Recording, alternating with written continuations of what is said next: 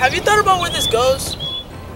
As water flows off our streets, parking lots, and building rooftops, it picks up all kinds of pollutants like pet waste, sediments, fertilizer, pesticide, oil, and automotive fluids. The contaminated runoff can adversely affect water quality and aquatic life in local streams, the rivers in which they feed, and ultimately the Chesapeake Bay.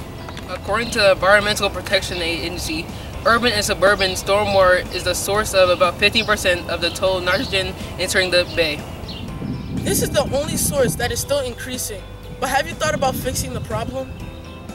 Our Destination Imagination team at Thomas Johnson Middle School wanted to help make a difference. We partnered with the Prince George's County Department of the Environment to stencil storm drains. Stenciling drains makes the people think twice about littering and dumping. We encourage others to clean the streets.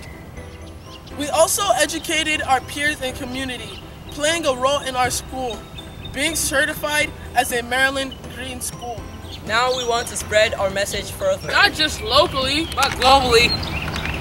After competing in our local and state Destination Imagination tournaments, our team advanced to global finals in Knoxville, Tennessee. At global finals, we will get a chance to share our message with a global audience. However, lack of funding stands in our way. We need your help to get to global finals. Please help us experience this once in a lifetime opportunity by donating. Together we can be a generation of change. Hi everyone, this is Rodney McBride, principal of Thomas Johnson Middle School. We're here asking for your help and your support through monetary donations so that our Destination Imagination team will be able to support STEM throughout the world and our students will represent us very well. What we need is your support.